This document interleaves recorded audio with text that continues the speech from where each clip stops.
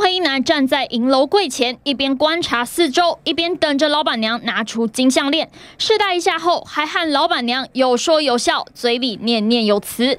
为了取信老板娘，男子将金项链脱下来，竟直接把金项链整条偷走。平头黑衣男从银楼店冲出来，接着就跳上一台骑楼外接应的机车，两人直接扬长而去。银楼老板娘发现黄金项链被偷后，立刻跑了出来。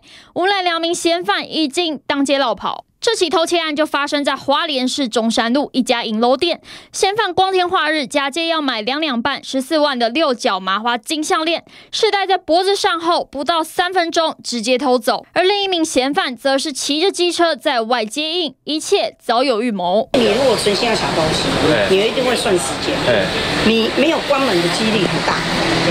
所以当时是没。然后再来是你要摆很大的东西，就是。他一定要算成本啊！